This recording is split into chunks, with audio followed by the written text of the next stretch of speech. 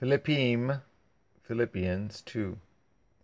If therefore, rather, if there be therefore any consolation in Hamashiach, if any comfort of love, if any fellowship of the Ruach, if any affection and mercy, fulfill my joy, that ye be like-minded, having the same love, being of one accord, of one mind.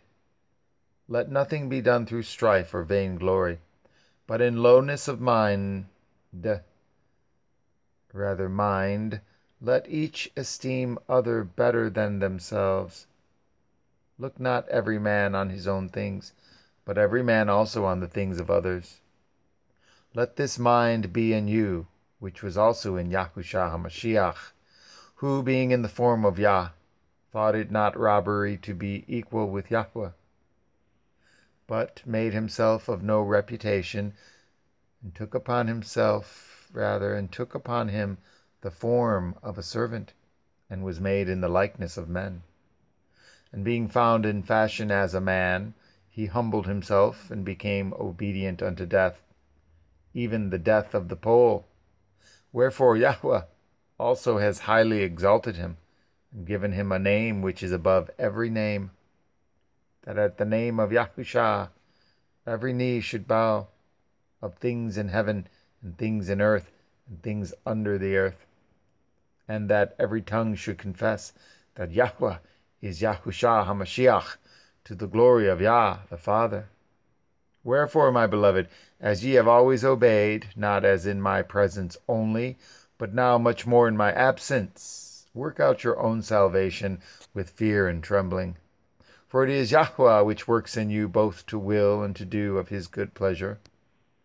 Do all things without murmurings and disputings, that ye may be blameless and harmless, the sons of Yahweh, without rebuke, in the midst of a crooked and perverse nation, among whom ye shine as lights in the world, holding forth the word of life, that I may rejoice in the day of Hamashiach, that I have not run in vain, neither labored in vain.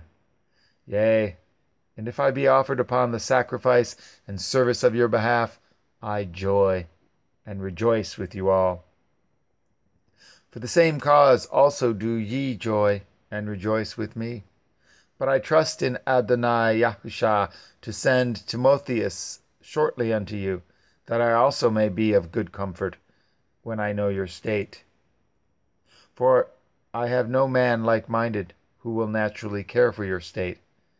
For all eth seek their own, not the things which are Yahusha HaMashiach's. But ye know the proof of him, that, as a son with the Father, he has served with me in the Besorah. Him therefore I hope to send presently, as soon as I shall see how it will go with me. But I trust in Yahweh that I also myself shall come shortly.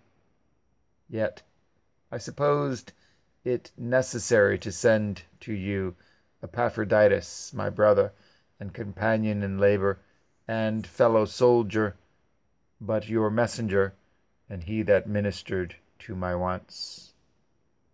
For he longed after you all, and was full of heaviness, because that ye had heard that he had been sick.